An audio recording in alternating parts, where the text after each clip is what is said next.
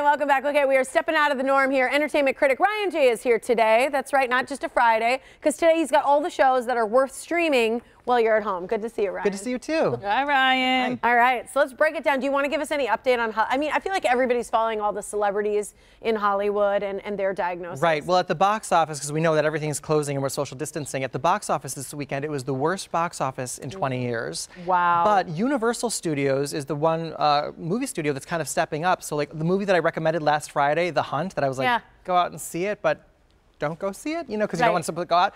It's this Friday is being made available to stream at home for $19.99. You can stream it for 48 hours. You can basically rent it. All their movies. So The Invisible Man, The Hunt, Yeah. Trolls World Tour, which is opening on April 10th. Instead of pushing back World that Tour. instead of pushing that date back, it's now going to be made available for in-home viewing Wow. and streaming for $19.99 for 48 hours. So How do people find it if they're Yeah. not familiar with streaming? um, it's probably I'm assuming I don't know for sure, but I'm assuming like on iTunes Any of or these some behind other you? yeah some other you know Okay. you can probably rent it on like iTunes or something. Okay. Okay. rental service. Very cool. So Or on people can find some of the newer ones. Yeah, so it's exciting that that's because otherwise we're not going to get new movies. All the major releases have been postponed through uh, Yeah. March and April and for the foreseeable future. I'm sure, and filming as well, Yeah. you know? Um, okay, let's break down some that you do have. This first one's on Apple TV Plus. This is Amazing Stories. Right. This is the reboot of the series from that was on NBC from 1985 to 1987, produced by Steven Spielberg, and it's an anthology series, and it's really, really cool. It's kind of like Twilight Zone meets Tales from the Dark Side. Oh, What do you want to say about the individual episodes? Well, the first episode was The Cellar, and that one was amazing. It's got the, the boy, you see That's them there. the name of it? That's the girl from You, season two. Remember she played Love? We, we yeah. all I watched was You on obsessed Netflix. with that. I haven't seen Yes, so good. That You, by the way, on Netflix. If you haven't seen that, that's a show to watch. But um, that's the boy from The Maze Runner, and that's a travel, time travel romance. I loved episode one. Okay. Oh, cool. What about episode two? Episode two is The Heat, and it's not as good as the first one. It's very dark, it's kind of tragic. Uh, the acting isn't as good. It's kind of like a bad Twilight Zone. So I'd say skip episode two. We're not seeing it right here, but then um, episode three is getting better buzz. Okay. Okay. Good to know. Yeah. All right, let's talk The Pale Horse on Amazon Prime. This is one you like worth streaming? Yeah, this is great. Okay. This is a two-part, two-hour uh, Agatha Christie adaptation, and what I love about it is it's a very moody uh, adaptation of 1960s London, and, and it's got some mysticism in it. It's not just the kind of uh, whodunit where there's a, a Sherlock Holmes type character. You feel like you can relate to the sort of everyman, Ooh. and you're piecing together the puzzle with Ooh, it. that's Scary? a creepy. Yeah. Um, you said you said Agatha Christie, and that makes me think that it might be smart.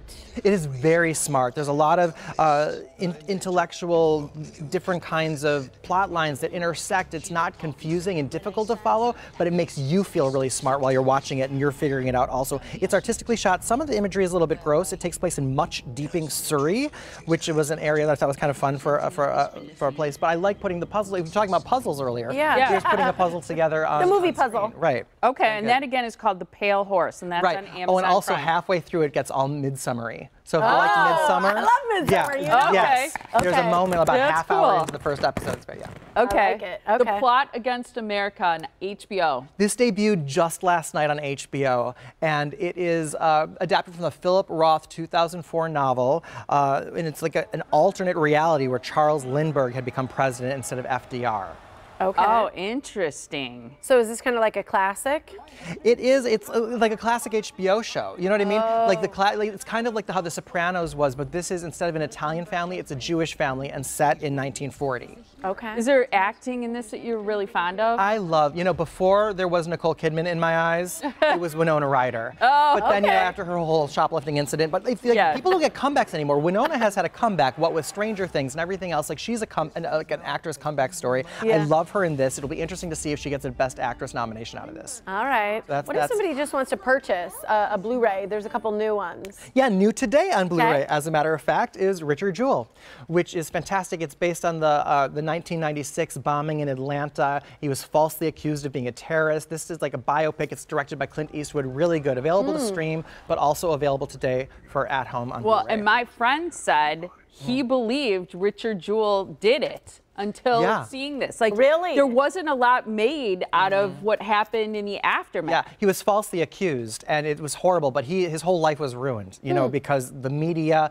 and uh, the FBI really Yeah. vilified him, and they're like, "Oh, sorry." So, it's it's re- it's a, it's a pretty good true story. Really good. Yeah. Yeah. and I think an important part of our history to kind Absolutely. of understand better. So true. Um, and you on digital cats, right? Cats, my favorite movie of last year. I was the only one who liked it in the world. but it's coming out on Blu-ray next month, but it's available today to stream. So you can go to so iTunes. creepy. It's not creepy. It's fabulous. It's a great, you know, now you can finally see it and judge for yourself what everybody was like complaining about at the end of last year. Oh, okay, there you Right. go. I like It's that. really, then really you're in the conversation. So, so good. All right. Well, I like this. Gives us some ideas of things to do at home. So Absolutely. thank Thank you, you, Ryan. Ryan. You're welcome. Appreciate Thank you. that. All right, you can like Ryan Jay on Facebook, follow him on Instagram and Twitter, and for his full movie reviews, you got to check out his website. We know you're home online, so ryanjayreviews.com.